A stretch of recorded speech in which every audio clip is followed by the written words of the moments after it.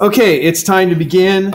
I do not see Tioni nor Amelia. Otherwise, we're good to go. We are today going to be focusing on the death of massive stars, learning about white dwarf or not white dwarfs, but um, neutron stars and black holes. Here you go, Tian. So start off with this picture we ended with last class period. A very massive star has so much gravity that is going to, you know, when the core runs out of fuel, it's just going to compact it more until you reach a high enough temperature to fuse the next fuel. And so it's going to fuse everything that's possible. And of course, just like with hydrogen, when the core runs out of that material, the core shrinks more, it gets hotter outside, and you start a shell going out. So in the death stage of a very massive star, and now you might ask, what mass is a very massive star? Well, this would be for stars that are greater than about eight solar masses. So for these stars that are more than eight solar masses, you're going to have all of these things, hydrogen, helium, carbon, neon, oxygen, silicon, all having a shell of fusion that's burning outward. Question. What's the depth of like 150 mass Um, they don't form stars more than 150 masses, so they don't have a death. no, you said more than 150, which 150 is the limit. 150 is the limit. You- Stars greater than 150 solar masses, at least in theory, can't for form. greater- I'm not asking for the greater one, I'm asking for the limit. Okay, I, I don't understand the question then. Like the biggest one, 150 is the limit. Oh, okay, so what's going to happen to the biggest stars? We'll get through that today. I yeah, I didn't understand the question. So they're going to stop at fusing silicon into iron. So when it shows iron, the iron here is the core. And the core is iron because iron won't fuse and release energy. You have to put energy in to fuse with iron. So that's the end of the line. That's why the core ends up iron here. And I showed you this for brief seconds at the end of class just to get the times is what I focused on at the end of class for 25 solar mass star, how long it is in each stage. Notice over here now the primary fusion products. This is showing the fusion relations. So for hydrogen fusion, we've learned two mechanisms for hydrogen fusion. What mechanism is going to be occurring in a large star, like a 25 solar mass star?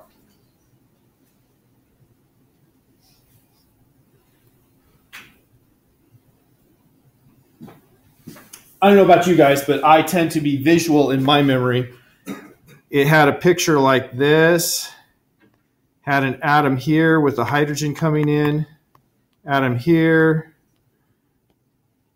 here. So you mean the same? Yes.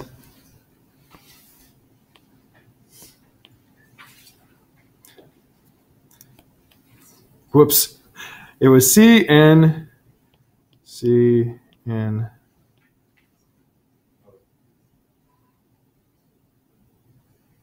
I think it went something like that because you had the decays occurring in between and hydrogens coming in along the way. So you had a total of four hydrogens coming in and it was producing helium in the end.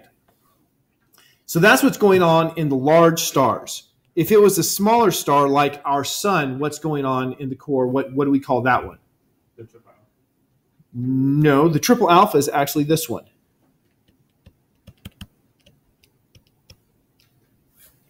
But the fusion of hydrogen to helium, how does that occur in our sun? Wait, where did the large stars get to like the initial carbon, and oxygen from? Um, those they don't have to have much, and they're going to be produced along with some of this lower fusion. You're just going to have a few events for creating the larger ones. Um, we'll learn about. I say later. We only have one week. We'll learn about population one, population two stars. You can also have a star that formed from gas, a cloud that had other stars that died and contributed gas to it, and that can also be. Okay, our sun. What do we call the method of fusion going on in the core of our sun right now? the proton proton chain. So I'm going to write this in up here, not proton proton chain. because it has more mass and it can go to the slightly more efficient CNO cycle. Okay, then the, the helium fusion is the triple alpha process. That's the same process that will occur in our sun when it undergoes helium fusion. And so you have three helium nuclei that come together all at once to give you the carbon. Notice the temperatures 100 million kelvins is necessary to fuse helium. Very high temperature. Then our star is going to stop there. The sun's going to stop there but a massive star will then fuse carbon, and notice it's carbon and helium being fused now.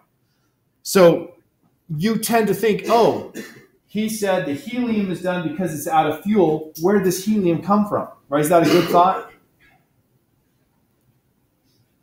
Is it reasonable? The, the answer is when I say it runs out of fuel, it's not dry. In fact, it probably still has more hydrogen than anything else but it doesn't have a high enough proportion for the fusion reaction to occur efficiently. And so there's still going to be a lot of helium. It's just there's not a high enough proportion of helium for you to have a, an efficient helium fusion. And so it compresses, and then you get helium fused with carbon to produce oxygen. And then going further, I'll bet you it's finally up to, yep. Going further, you have carbon and carbon fusion to produce neon plus helium. Hey, more helium coming into the play. Then the next step, neon and neon producing magnesium and oxygen. So we had oxygen produced here, we have oxygen produced here, and then we combine oxygen, oxygen producing silicon and more helium. And finally, the last step is silicon and silicon producing iron. So it, it's kind of interesting to me just to look at these. They're not, you know, you tend to think it's just building blocks and I've got this and I add one more and I have the next. But it's a little more complicated. You can also consider the amount of energy. 71% of the energy that the 25 solar mass star releases over its lifetime comes from the fusion of hydrogen. And it's just small amounts. You know, these are all small numbers for the balance.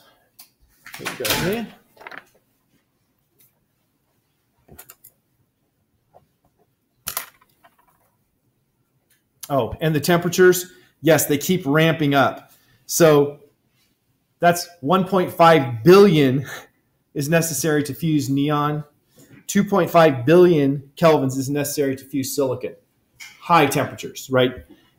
It's I don't say you have to have those memorized necessarily, but know that they're continuing up and you're getting into the billions by the time a massive star has finished fusing everything.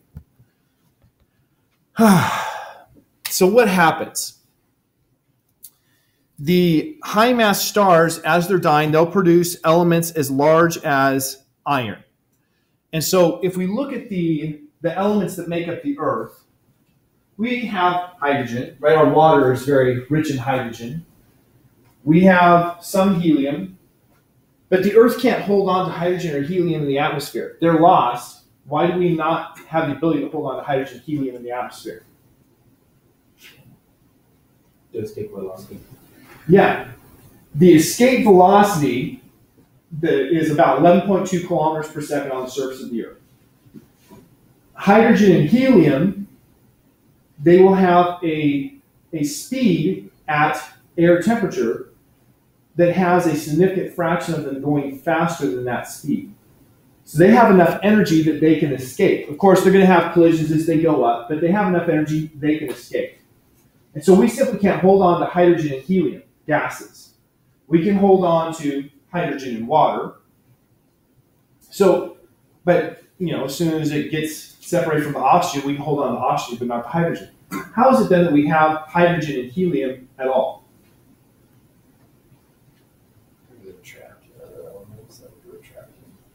like water That that is part of it. That's part of it. But there is another part. Our, we're producing hydrogen and helium. How are we producing hydrogen and helium? From radioactive decay of elements that are larger than iron. Things like uranium is a naturally occurring rock that's radioactive and it's producing hydrogen, well, it's producing mostly helium, as it decays to lead. And so we have a continual production of helium as the uranium decays on its way toward lead. So, and there are other radioactive elements that produce hydrogen. So we have these gases being replaced by radioactive decays. So elements like iron, right? We look at the things the crust is made of, it was primarily iron, silicon, and oxygen. Where did those elements come from? Those are made during the death of stars. So that means using the scientific theory, right, not taking a um, oh, ad nihilos. What, what is the word, gentlemen? Ad nihil. What's the word for nothing in Greek? Or is it, or is it Latin? I don't know. That's Latin. Ad nihilo. I think it's nihilo. Anyway, may, it, assuming that we're going to take the scientific approach of saying that the earth was formed naturally, that it was not just created out of nothing by God. Right? Because if it was created out of nothing by God, that could happen. Science isn't ever going to explain it because science, by its definition, relies on things being natural, not on things being supernatural, such as having God. So if we're going to try to explain the formation of the earth by a scientific method rather than, you know, a, a caveat, then that means that there had to have been plenty of silicon and oxygen and iron in the solar nebula. But if there's plenty of silicon and oxygen and iron in the solar nebula, and silicon and oxygen and iron are only formed in the death of massive stars, stars that are more than eight solar masses, then that means that there must have been larger stars in the vicinity of where our sun formed that had died and contributed these elements. And so you can look around and say everything around you that's not hydrogen or helium, that's stardust. That's material that was the atoms themselves were formed in a star while it was dying. And then those atoms that were created as the star was dying became part of the earth when the earth formed. So, you know, the whole song, why do it, it talks about sprinkling stardust in your hair. Well, we I could just drop some dirt in your hair and that's sprinkling stardust in your hair. It's not nearly as romantic as the song tries to make it sound. Here's once again, we looked at this picture. I, I fast forwarded to it last class period that shows the binding energy per nucleon and that iron here is at the top. Well, you know what happens when the pin stops working. At least I figured this out. Instead of everything, oh, that was the wrong button. Instead of everything going to pot, I know I can kill this and restart it and everything will work again. So iron is the most stable nucleus and that's why, hey, look, it even remembered my pin strokes that you didn't see. That's why the iron is the end stage for the fusion.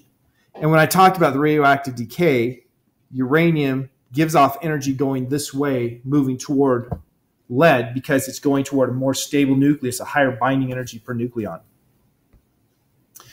So, you pretty much have come to the end when you've fused silicon into iron. You no longer have any fuel, so to speak. You can't do any fusion reaction and get out energy. It's going to require energy to fuse anything more. But you still have gravity, and gravity is still compressing. All along, we've talked about that hydrostatic equilibrium between the outward forces produced by the explosions and the inward forces due to gravity. Well, now you've run out of anything that can push out. And so it starts crushing until you reach a high enough pressure in the core of a star that at this point, it's not going to be 8 to 20 solar masses anymore. It's going to be um, somewhere around 1 to 2 solar masses because the stars give off more than half of their mass, as much as maybe they give off nine tenths of their mass when they're going through these giant stages. But you have enough mass to actually crush the iron together with electrons and essentially undo the entire fusion process. All of the energy that's been produced by fusion is essentially not the same energy, but that amount of energy is essentially absorbed back into these iron nuclei, and it converts everything into neutrons. It's complicated. Uh, It's easy to pretend that you just made an electron and a proton smash together to make a neutron. It's not the truth, though. It's more complicated than that. But the net result is that. The net result is you smash an electron and proton together and makes a neutron. And you take all of these iron nuclei, smash electrons into them, and all of the protons convert to neutrons, and you end up with one giant nucleus made up entirely of neutrons. So they call a neutron star because it's all neutrons. And so it took a lot of energy to do that crushing. So it sucks all of the energy out, and you suddenly have this core that pulled a lot of energy out. Everything's falling and comes in, hits the core, which of course is going to heat right back up again, and then bounces off, and you have an enormous explosion from the stuff falling in and then being shot back off. And there's a huge neutrino shower produced by the conversion process of making all of those neutrons. And so you have a huge outflow of energy, which we call a supernova. So that's the process that's going on inside the star during the supernova. And this is what the light looks like for different kinds of supernovae. Now remember I said a type 1A supernova was very repeatable. Pretty much always looks the same because you always have the same elements and the same mass. Well, when you have a type 2 supernova, which is what I'm talking about here, you can have different gas um, concentrations, you know, different ratios of gases. You can have different masses. So you have different looking light curves. But those supernovae are massive stars dying. How massive? A good question. Glad, glad I asked it. Basic numbers, we're going to have clearer question just a moment to ask you all about these. Basic numbers, what's the lowest mass star you can have?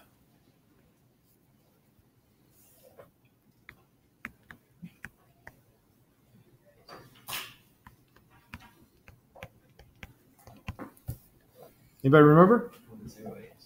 Okay, 0.08 solar masses is the lowest mass. Remember, we did have 0.016 solar masses with that little question mark. You know, the brown dwarves, are they stars? Are they not stars? 0.08 is generally considered, okay, that's definitely a star. What mass do you have to have for a um, for a giant to occur? To make a red giant. I should put red there.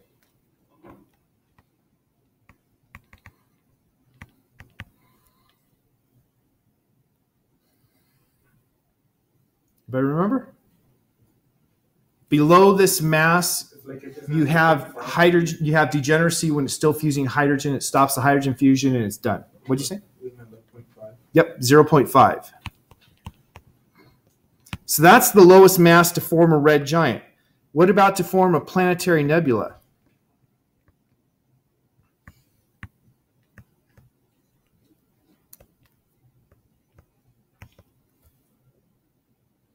You might recall I said there is debate about if our sun will form a planetary nebula. What does that tell you? So it's like. Yeah, it's like one solar mass. We're right on the boundary where they say may or may not. Okay. Now we go up and let's go with the. Uh, What happened to the other planets when the sun forms a planetary nebula? what happens? What? What happens to the other planets when the sun forms a planetary nebula? Um, it depends on how close it is to the sun. Like You know, like if Jupiter, Jupiter's going to lose a lot of atmosphere because you'll have all of the pressure pushing the gas away. Uh, Beyond that, I don't know. Um, like Uranus and Neptune. they're so far away they'll probably they'll be warmed up some but not a huge change it is thought that maybe some of those moons out there you know like some of the larger moons um, titan or maybe you know europa the, the galilean moons they might become actually well not io um, habitable for life because of the increased temperatures. So, as the sun ages, if civilization, if Christ hasn't come, you know, civilization wants to continue, they're going to have to migrate out to some of these moons, is a theory. What does make water drive? Or what? What does make water drive? in the- Yes. Okay, so my next question was helium flash. Helium flash starts at this level. Where does it end? That's right. Now, getting into the new stuff. Um, white dwarfs, everything down to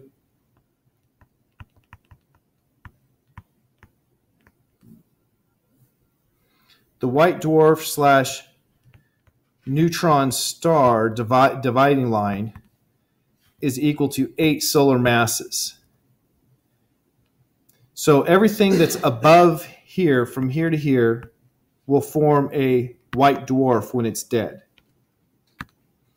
And more than eight solar masses, it will form a neutron star. Now, there has to be an upper limit for neutron stars. We haven't gotten there yet. And you'll find, I looked this up before class, I'm pretty sure our textbook.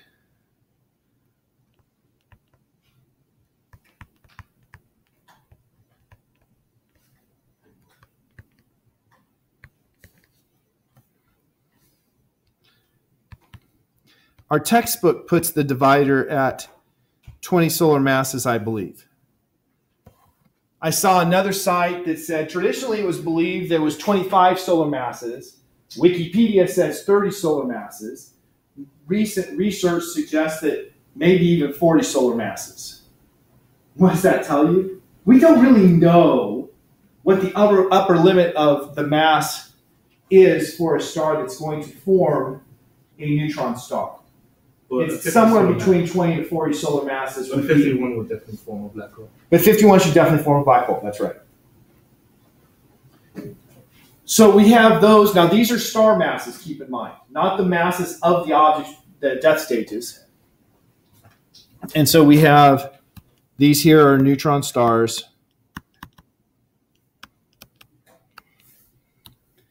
And then we have an upper limit for any star of 150 solar masses. So that basically tells you what's going to happen to a star based on its mass, how it's going to die. Now, we haven't talked about the black hole yet. We haven't actually talked about the neutron star, but it's good to have these limits. Any questions about these limits? Got them totally memorized? Nope. I'm just gonna stop. You, you pull up the uh, the PDF so you can.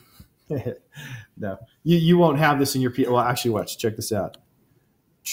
Boom. If you reload the PDF now, you'll have those numbers. okay, so in the supernova, you created in the core a neutron star. You convert all the iron into neutrons, all the protons turn into neutrons. But in the explosion, it's just so massive in energy, it just forms all kinds of atoms to merge together, even though it's energetically non favorable. That is, it takes energy, costs energy to make something larger than iron. But during the supernova, there's so much energy, you have very high energy collisions. And that's where every element on that periodic table that is above iron. So if you look at the periodic table, iron is the center of that fourth row right? You see iron, cobalt, nickel. Iron, cobalt, nickel, those are things that can be made by fusion. Everything beyond that, so going, you know, copper, zinc, gallium, germanium, going down, you know, rubidium, silver, Ag silver. Below it, Au is gold. You know, all of those things are formed in a supernova. So the fact that we have those in our Earth, once again, tells us that we must be the result of something had a supernova. Gases from that supernova then were in the molecular cloud that our solar system was made from.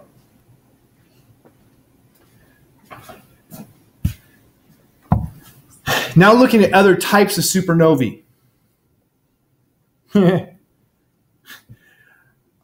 At one point, I had this so all fit on the page. Obviously, it doesn't anymore.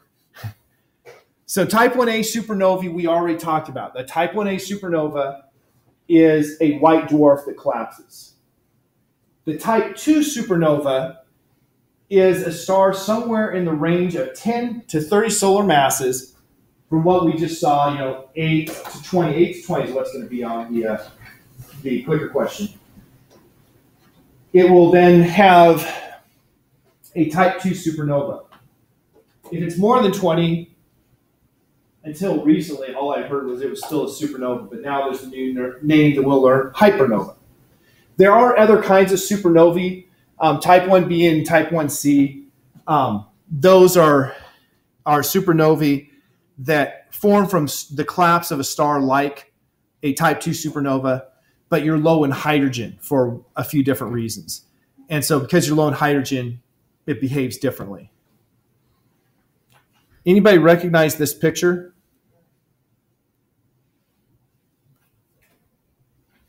We've seen it before, it's in the book. Is that the Crab Nebula? Yes. It's the Crab Nebula. I don't see how it looks like. I don't either, but that's beside the point. Maybe you like turn, maybe you like look sideways at it. I know that did nothing for you. I thought it was funny.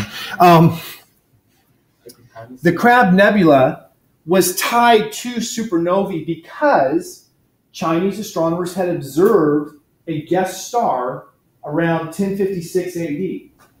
And then, when with the advent of telescopes, people turned their telescopes over to where the Chinese astronomers had said it was right here, and they found the Crab Nebula. And then they said, well, maybe these two are related. Using Doppler shifts, you can measure how quickly the gas is moving. And they found a neutron star in the middle of that.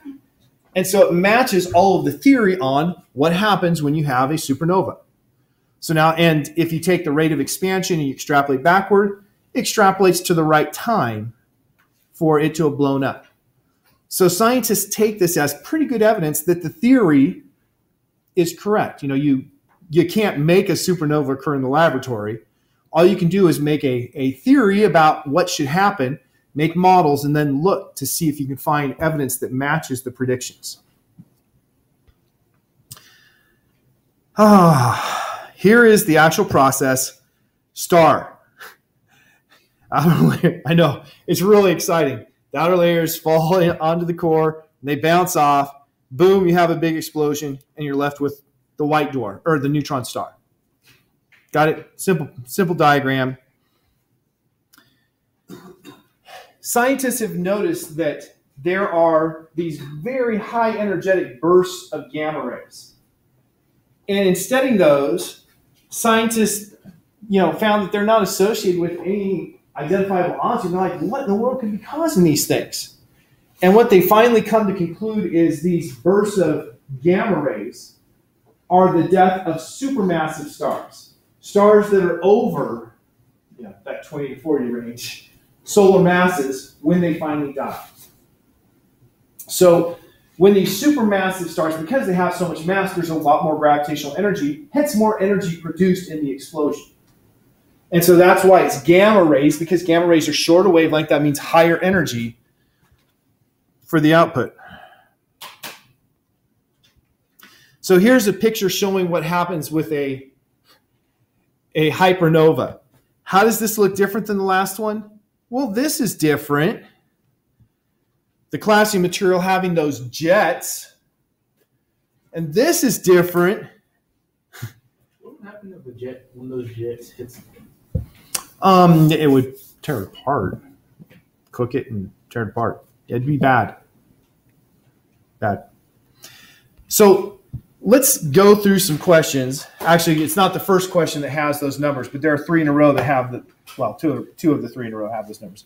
What's the distinction between a type 2 supernova and a hypernova?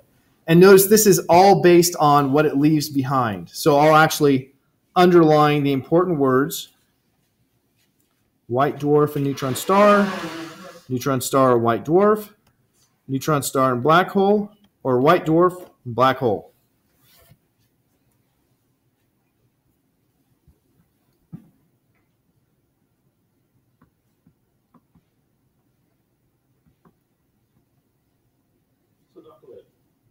If there's such a thing as a black hole, is there such a thing as a white hole? In theory, if you make a Einstein Rosen, uh, got the last word, Would it be like a, a wormhole, um, that one of the black holes would be called a white hole. Yeah, that's the That's the other end. Einstein Rosen bridge, that's what it's called. The Einstein Rosen bridge has a black hole on one side and what they call a white hole on the other. Jessica and Aldwin. Oh Lord, Pressed something. Oh, that's because I'm not on the right channel. Probably have put.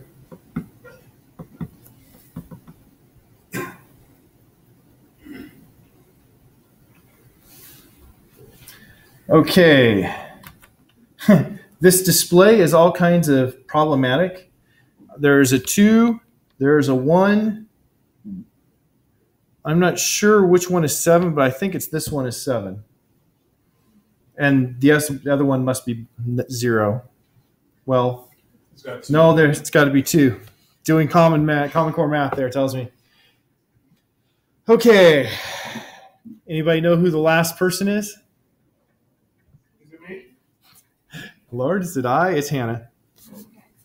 I wasn't sure. I couldn't remember what the hypernova leaves behind, so I picked A, but I'm thinking of that Okay. Why are you thinking it's wrong? because the majority. Because because the popularity. Okay. Talk to Russell. Russell, can you help her out? Let's. Okay. Russell says C. Why do you why did you tell her C? There's a slide that said leaves behind the black. Because what? The slide said leaves behind the black. Can anybody understand? He said to the slide said it left behind the black hole. Because it's The slide before. oh, because the slide before said it leaves behind a black hole. Okay. So he was just you just told me, and so I answered what you just told me. How do you do that? And that's pretty good reasoning. The hypernova is only different in the supernova in that it's more mass and thus leaves behind the more massive remnant of the black hole. So that's why up until recently I just understood them to both be called They the both- same thing. They both leave behind the giant nebula, right? Um, yes, they'll both leave behind a giant nebula. Just- Although the the with the black hole, that's the only thing you see about it is the gas that didn't make it in. Yeah. So since this is kind of a sidetrack theoretical question, but so if black holes are so massive that light gets sucked in and can't escape, if a person got sucked into a black hole before they die, would they theoretically be able to see the black hole? Because like inside the black hole there's light, right? It's just we don't see it from outside because it can't escape. One of the things about black holes is we can't really say what would happen theoretically inside because we don't understand any physics that could operate inside. Um, But we can talk about what would happen. Um, some interesting things. The whole idea of time dilation. You know, a lot of people know that if you travel really fast, the rate of time that you measure is not the same as the rate of time of the person who stays still.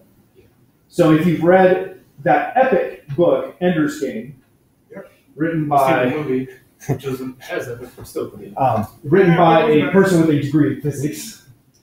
Um, one of the things that it has in it is people in spaceships that are traveling really fast, and because those spaceships are traveling really fast with respect to Earth, the aging of people in the spaceships is very, very slow as measured by people on Earth. That's why you use a hyperdrive. Now, the converse of that is the people in those spaceships would see the people on Earth aging very slowly. But um, so you have this time passes at different speeds depending on, or different rates depending on your speeds. Well, it turns out that mass does the same thing. Einstein in 1905 had his theory of special relativity, which is the easy relativity. Somewhere around 1960 to 1918, he came out with this theory of general relativity, which says that mass just warps the space-time continuum. And what that means is mass actually changes the shape of space, it curves it, and it changes the rate at which time passes. So that for a person falling into a black hole, as they're falling in, they see, oh, yeah, clock's ticking and I'm falling in and whoop, I got in. Somebody that's on Earth and watching them would see that it takes them forever and they never make it in because of the difference in the rate of time passing, which is really bizarre. So if a person were to fall in, and I will answer your question, I just want to finish this thought.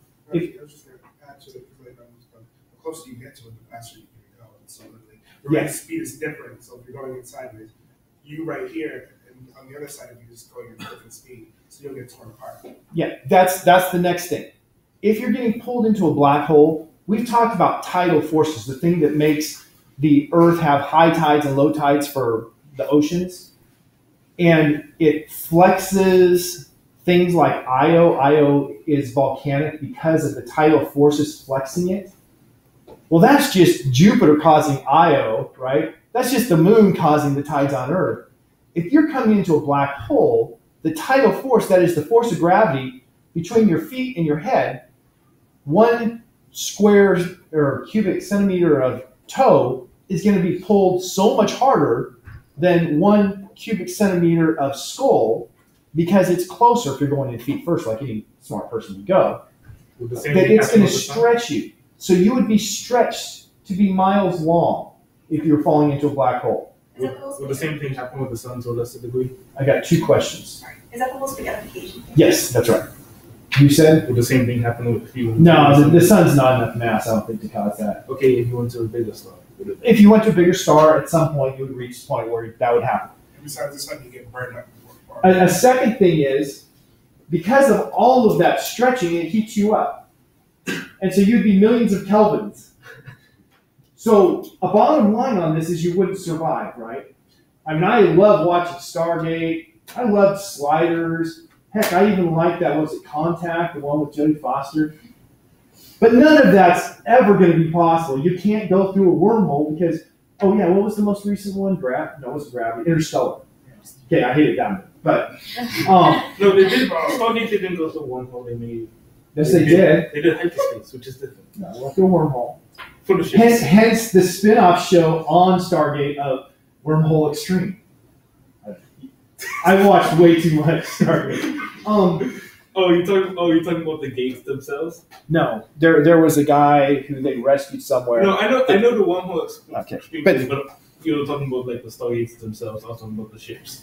Yes, the Stargates are supposed to be making essentially a wormhole, which is connecting to black holes. That's why they take. talking literally about the ways that created humans and like planets. Yes. So Let, let's just go along with science instead of science fiction for the moment. Okay, so we've got settled what happens if you fall into a black hole. That was certainly not part of the original lecture. Jocelyn Bell, back in 1967. How old was I in 1967? I was zero until the last month of it. So basically, when I was a So your birthday's in December? November. November. so the second to last one. Yes, but the last month is the month that I was one. If you want to be really technical, for six weeks. Okay, so she was doing some research and she was looking out in space and she found that signal you see on the left. When you have a repeating, I think that's the actual one she found, you have a repeating spiky signal. You guys have heard maybe of SETI, the search for extraterrestrial intelligence. I mean, the people that sit all day next to the giant telescopes. They don't sit all day next to them. They just feed the data into the computer. The Well, computer I mean, along There's someone there sitting all day next to you. They are looking for signals like this. Signals that look like they might have been produced by some intelligent being. And so she found this. She's like, what in the world? Now, did they believe it was extraterrestrial? I don't think they did. But they did at least jokingly call this the LGM signal. LGM standing for Little Green Men. Because, you know, in sci-fi they have the aliens are little green men. But they found this, this signal and they're like wondering what in the world caused it. So they start looking around, they found lots of them. So this one here, you have somewhere in the ballpark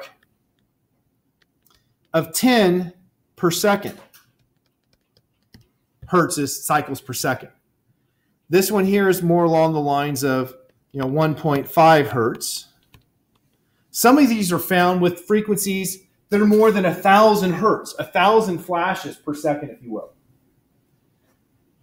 And so they're like, what in the world could cause these? and they're they're very periodic. You know, you can keep your watch by them. And so scientists start trying to settle what could these be. And so you have a couple options. Like, could it be a variable star? Right? We've learned about variable stars. Variable stars are getting bigger and smaller, right?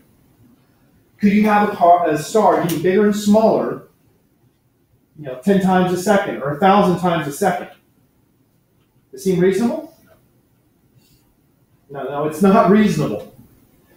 Um, as a general rule of thumb, you can actually determine the maximum size for something like this because if I have a star, the time for it to flash has to be less than the time that it takes for light to go from one side of the star to the other. And so the time for light to go from one side to the other is going to be time is equal to the distance over the speed, so 2 radius over the speed of light. Speed of light, we have the symbol c. And so you can determine right away that the radius of an object producing this has to be less than the number you get from that. The time between flashes, what we actually call the period, so I use, should use capital T. So you can determine what the maximum radius is. That calculation, when you say, okay, we've got one with a period of one one thousandth of a second, well, you take one one thousandth of a second times three times 10 to the 8 meters per second.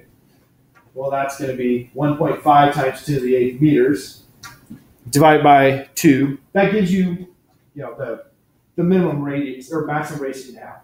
Well, the calculations show that this would have to be something smaller than a star.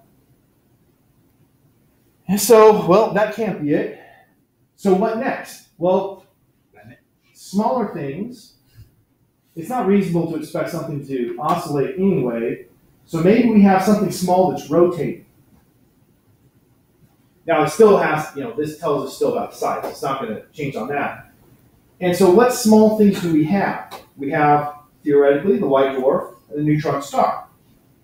Well, it turns out that with the high frequencies of these, if you had a white dwarf and you spun it on its axis at that frequency, it would be torn apart because inertia would make things fly off of it. So it couldn't be a white dwarf because inertia or gravity wouldn't be able to hold it together. And so the only theoretical object that was small enough and could withstand the rotation was a neutron star. And so the conclusion scientists came to was that this little green men signal was a neutron star somehow giving off light. Okay, you, somebody over here had a question. No? I thought it was one of the three gentlemen on the aisle. I could don't remember which. We the ones that usually ask questions or something. I just thought I saw a hand. So here is the theory that it's kind of like you're looking at a lighthouse. You have a beam of light from a neutron star and it's going around like this. When that beam points at you, you see the flash. What makes it then? The theory is that you have a really, really strong magnetic field.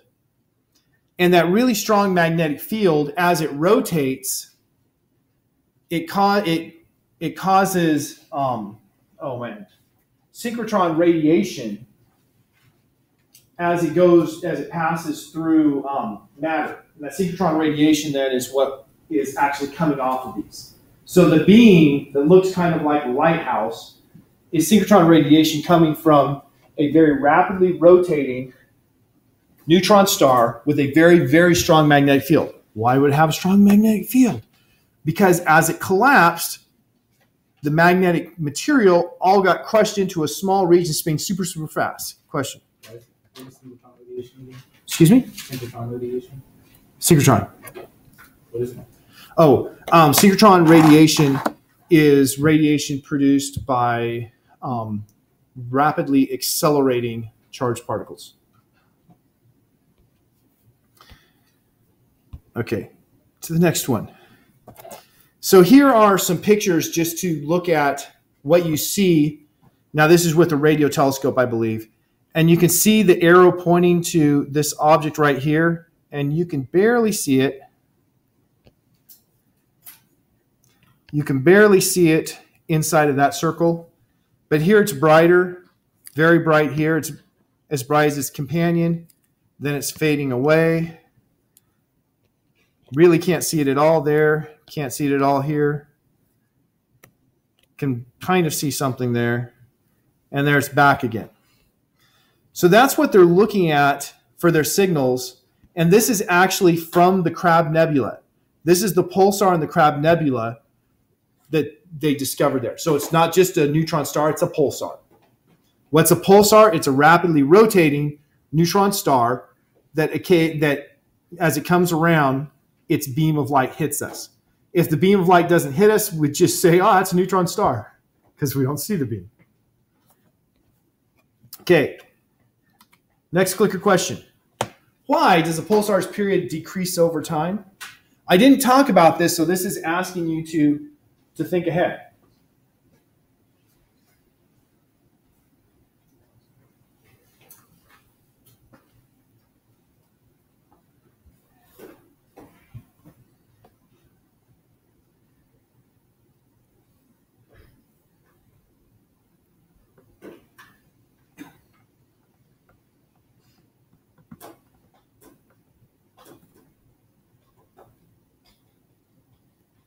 Right, right. Gianni.